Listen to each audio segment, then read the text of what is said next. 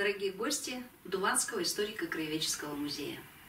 Сегодня мы с вами сходим в гости в дом замечательного, богатого купца первой гильдии по фамилии Кузнецов, который проживал в селе Месиготово.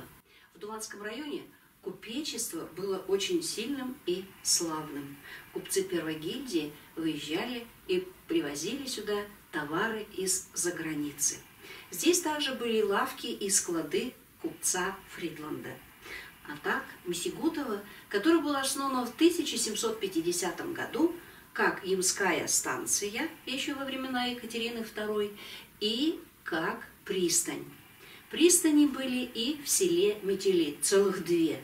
Там тоже жили замечательные купцы. И вот сегодня мы с вами попробуем посетить этот дом. Дуватский район и поныне – считается лесным районом. И вот в самой дальней северо-западной точке Дуванского района находится селение Аяс и поселок Займка. Вот там-то и проживал купец Александров. И сегодня обращаю ваше внимание, что наша гостья одета в костюм, купеческий костюм жены купца Александрова, которому 200 лет. Обращаю ваше внимание, какие пуговицы, какие здесь швы. Обратите внимание, какая замечательная, какой воротник, замечательная кофточка. А особое внимание обратите на крой рукава и юбки. 8 июля – день семьи, любви и верности. И купеческие семьи в Дуванском районе были крепкими, многодетными и богатыми – в своих домах они имели и вот такие замечательные кресла-качалки. Они проводили время за чтением книг, вязанием, вышиванием женщины. Мужчины вели торговлю в своих лавках. В Месигутово сохранилось два купеческих дома. Низ, как правило, выстраивался из камня, складывался, здесь была купеческая лавка, а второй этаж – строился из дерева, древесины, там было жилое помещение.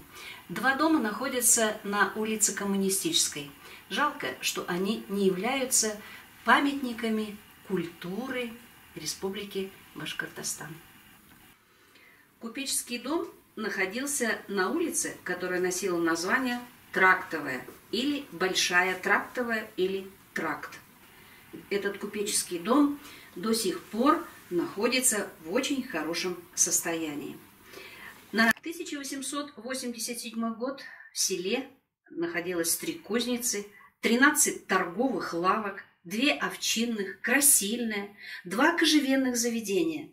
Занятиями жителей было земледелие, животноводство, пчеловодство, гончарное, кожевенное, мыловаренное, дегтярное производство и изготовление поташа.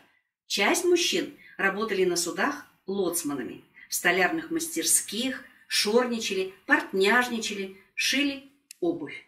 В 1912 году числилась зерносушилка, 9 кузнец, мастерская сельскохозяйственных машин и орудий, кирпичный завод. Ярмарки проводились три раза в год – 20 июля, 9 мая и 6 декабря, а базары проходили по понедельникам. Месигутово было расположено на реке Ай. Река имела огромное значение в жизни месигутовцев. Пристань служила для отправки изделий из Златоустовского завода и Демидовских заводов, хранение купеческих товаров. Барки проходили здесь очень часто. В XIX веке купечество очень прочно заняло свою позицию среди социальных слоев населения Российской империи. В том числе купцы проживали и в Месигутово. Сегодня мы с вами побывали вот в такой замечательной, да, в замечательном уголочке э, лесопромышленника Александрова и купца Кузнецова. Обратите внимание на интерьер. В нашем музее мы попытались найти вещи купеческие и постарались воспроизвести интерьер купеческой избы. Спасибо за внимание.